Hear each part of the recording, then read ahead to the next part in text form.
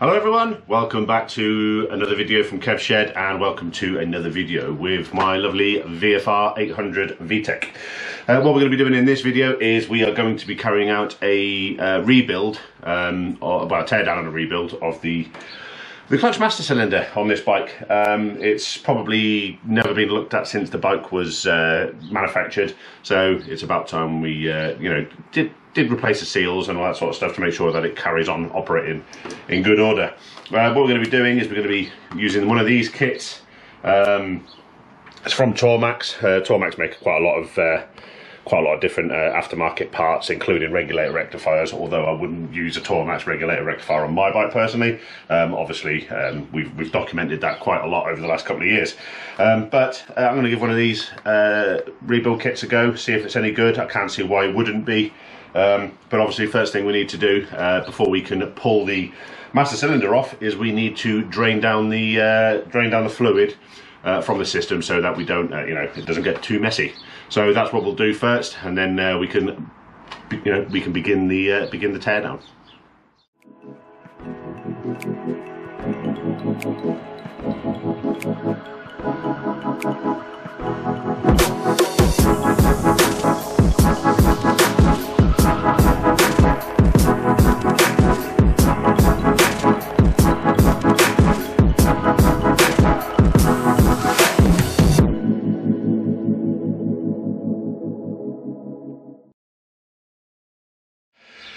Okay, so now that we've drained as much of the uh, the fluid out of the system and given the inside of the reservoir a good clean out, uh, well, as good, as good a clean as it can do, um, what I'll probably do is once we've got it off, I can, I can you know, be a little bit more meticulous. Um, but what I've done, obviously got some of my workshop rag, and we can now, there we go, just break off the the banjo. It's a 12 mil spanner that's required to take that off. And then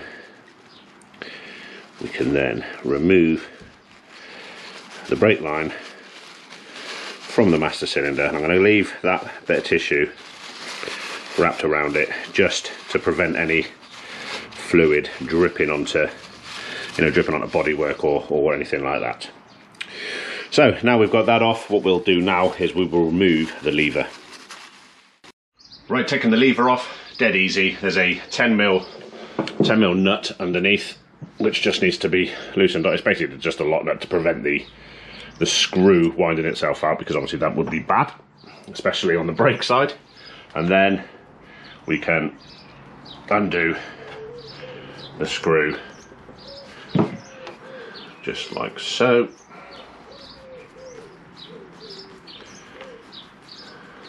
out of the pivot and then pop it out.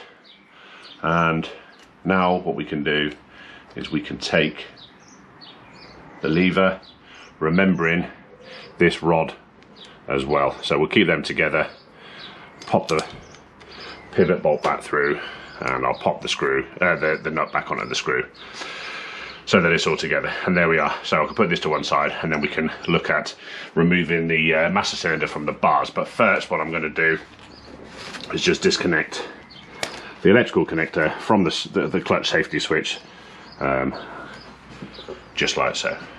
Okay next. Let's get the actual uh, reservoir off the bar. Right there, to remove it from the bar, dead easy. Just these two bolts here. They obviously also hold on the controller for the heated, the Oxford heated grips, so that's worth bearing in mind. But if the grips weren't on it, it would just be a case of just loosening these two bolts,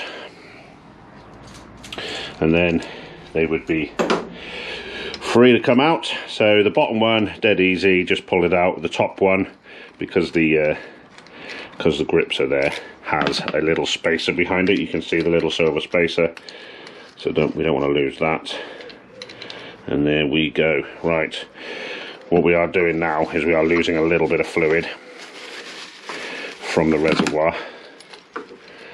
And obviously I want to try and clear that up as quickly as I possibly can. But there is the reservoir removed and what I need to do is obviously I need some more hands than I've got. Um, so let's recover all of this stuff.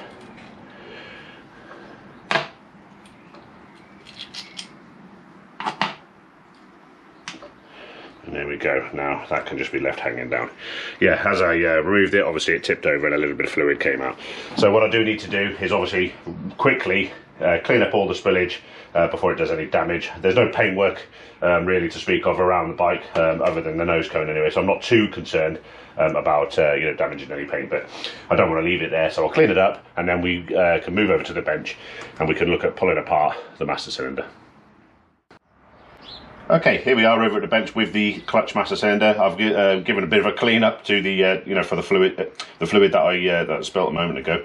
But yeah, what we need to do now is obviously strip the components for the master cylinder out of this body. So firstly, what we need to do is the the rubber boot that's over the top.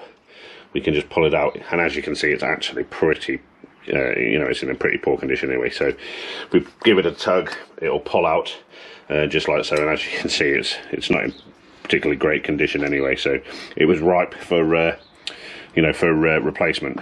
Now inside here, if I blow out a bit of the rubbish, um, you can see inside there is a circlip. Um, hopefully you can uh, you can see that there's a circlip inside there. And what we need to do is we need to remove it. So I've got a pair of circlip pliers and what I'm going to do is get them into position.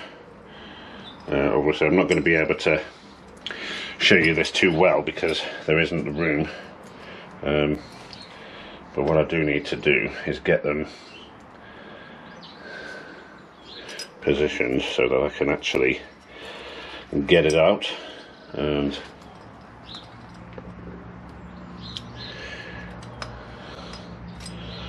these aren't going to be to be fair these these circlip pliers aren't actually the best for this job because this lug here actually engages on the outside of the housing so it's not actually all that beneficial but um, I'll struggle on. In fact I think what we'll do is I will get this circlip out and then I'll bring it back once we've got it out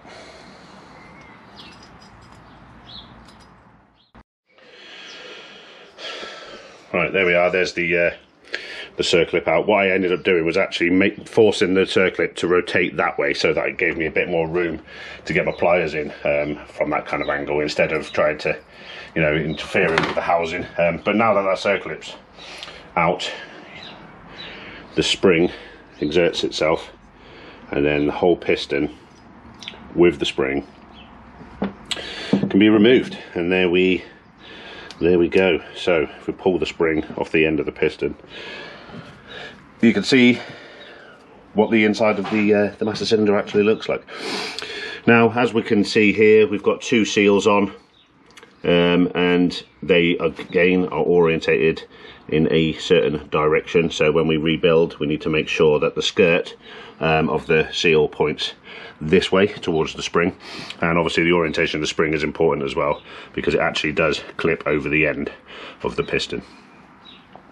Right what we need to do next is we need to give the inside of the master cylinder a ruddy good clean. So we'll get that all spick and span and then what we can do is we can look at um, the rebuild kit and see what we've got inside to put it all back together again. Okay so that is the master cylinder. Really really nice and clean. Um, I've given the bore a good clean out as well to uh, get any dirt out of there. And the inside of it has uh, had a nice scrub too. So what we can do now is we can open up our rebuild kit just like so. It gives you a little bit of uh, um, you know information when you work on brake systems especially master cylinders special knowledge or skill is required um, apparently not because I'm doing it. So, right, um, what we'll do, we'll open up the little bag, uh, come on, and tip all the little bits out, just like so. There we go, right. So we've got a brand new cover, which as you can see is in a lot better condition than that one. Um, new spring, new piston, new circlip, and then we've got the two new seals, um, which are just like the ones that came off. Um, one is slightly different to the other, however. Um, the, the profile of them is ever so slightly different. And if we look at the one that came off, we can see that the top one here is the one that has ever such a slight lip at the top, whereas the bottom one doesn't have that lip. So we'll put them on in exactly the same way. So what we'll do is we will um, give the seals a little bit of help to get on with a little bit of red rubber grease and then we will pop them over the top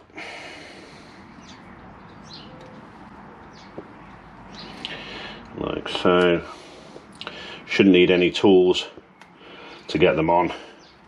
It's just a case of stretching them on over the top of the of the lip.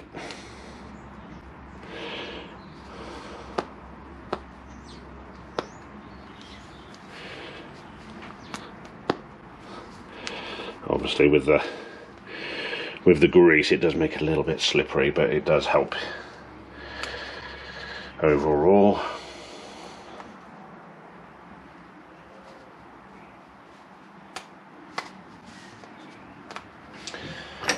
I'm going to just get my screwdriver behind it just making sure that I don't nick it and there we go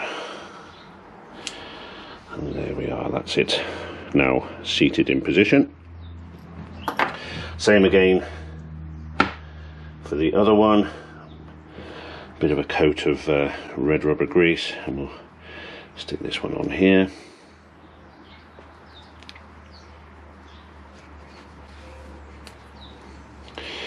it's like trying to wrestle a wrestle a greasy pig.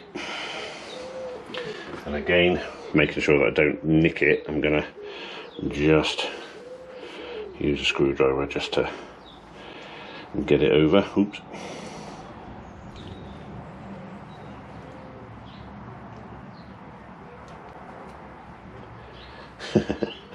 Come on, on you get.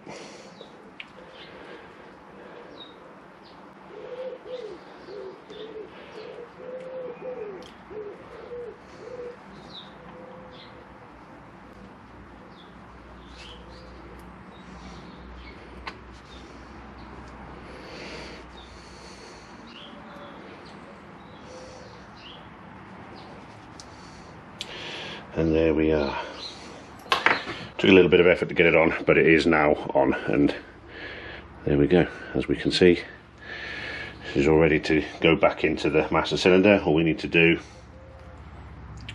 is pop the new spring on just like so and then there we are. That is ready to uh, ready to fit back in. Now obviously it goes in that way and then what we've got to do is we've got to get the circlip on over the top to hold everything into place. So what we'll do, we'll give another little coat of red rubber grease. You can use brake fluid if you want to, to lubric lubricate it. Um, I prefer to use red rubber grease because it's less messy. Right, now what we need to do is pop that in there like so, and then we need to fit it into the housing but what we've got to be careful of is that the the two seals don't like fold back in on themselves. Um, they they will like to turn inside out if uh, they're given the opportunity. So it's a case of just getting them in just gently turning them so that they go in like so. And that that one was good. And then hopefully that one will go in just the same which it has and there we go. So now we've got the the master cylinder down in position what we need to do is get the get the circlip on. And this is where you need three hands. Get the circlip on over the top. And just like so. And pop it down. And then what I'm going to do is I'm going to get the circlip pliers and compress the circlip until it fits in place which it almost is. As you can see it's not fully seated. So what I'll do is just gently push down with my screwdriver and there we go. Now now it is fully seated and you can see that it's actually engaged into the groove on the inside. A lot easier to get in than it was to get out but um, yeah it is what it is. Okay so there we go. Now what we need to do is just fit the fit the boot back into there and I'm going to give this a little a little bit of red rubber grease just to aid fitment. It should help it slide into slide into place properly. And I'm going to put a little bit on the inside just to keep the rubber nice and supple. And then pop that into position. And then gently gently push it home with a large flat bladed screwdriver. And there we go. Really is that easy. So that is the master cylinder rebuilt. All we need to do now is uh, reassemble it all onto the bike. I'm just going to give the pin a little bit of a clean and then that will get a good dab of red rubber grease prior to going back on. So what we'll do now, we'll take this back over to the bike and we can get it back onto the bars. Okay, here we go. Right, so to assemble it back to the bike, what we need to do is obviously get everything together um, so we can just pop it all back together. Now these two bolts, one is long, ever so slightly longer than the other, and the longer one is the one that goes with the bush, and that is the top one. The bottom one goes um, through the bottom of the bracket, but it all has to go together kind of like so. Then the bush, and then the bolt. So that is all there now, ready to go back on and then what we've got to do is again with our three hands is assemble it need to get each of the bolts started once they're started we're laughing but I need to get them all together first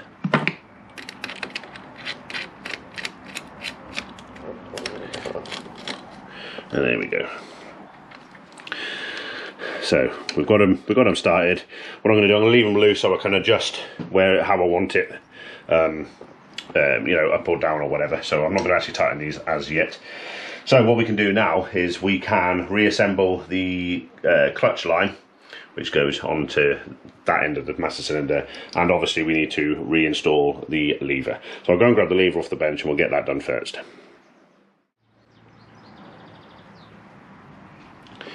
Okay, there we go. Set the pivot pin out and there's the nut and there's the greased pin. Now what we need to do is ensure that the pin goes in through the boot like it has.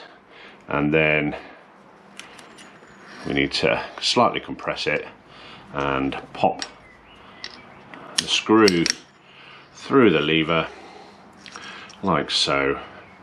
And then we can screw it down.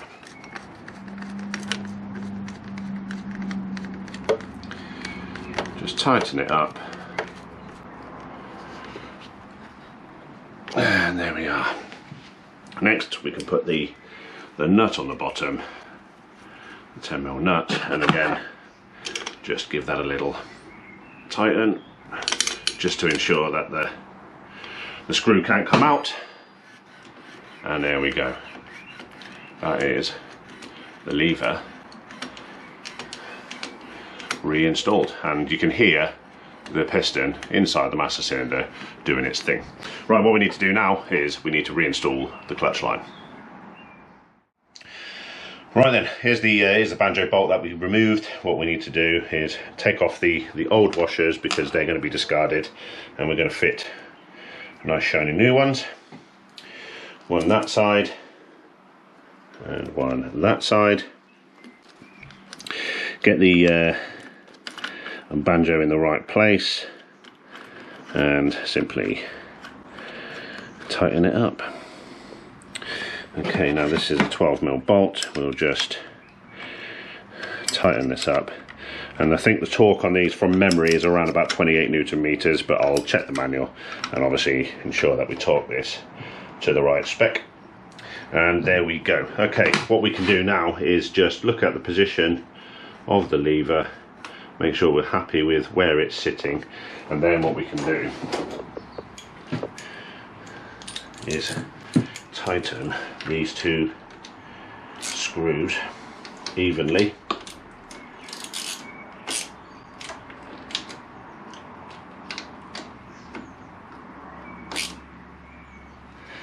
There we go. Okay there we go. That's nice perfect. Right. Okay. Last thing we need to do um, is we need to just reconnect the clutch switch wiring on the back here. And that is that. Then all that's left to do is um, fill it with fluid and bleed any air out. Now I'm not going to do that on this video because I've done that countless times um, and we've already done a video on it so I'll leave a link to that up in the corner now um, if your device doesn't allow you to click um, video card links then I'll also leave the link in the description below so you can go and do that. But yeah that is a process for rebuilding a clutch master cylinder on the VFR 800. So um, hopefully you enjoyed this uh, this video. Um, pretty straightforward. It's not actually that taxing. Um, probably the most difficult part of it is actually bleeding the air out. Um, but yeah, once uh, once you're at this stage, that's what we'll uh, what you'd have to do next. Um, thank you for stopping by. Hope you enjoyed it. Hope found it useful. If you did, then hit that thumbs up button because it really does help. Um, you know, it helps YouTube uh, recognize that people enjoyed my videos. So if you did, then uh, then by all means go and do that. Join me on the socials. I'll leave the links to uh, all three of those: Twitter, Instagram, and Facebook in the uh, in the description below. Join us over there, um, and uh, I'll see you all again, guys, for the very next video. Thank you very much. Bye bye now.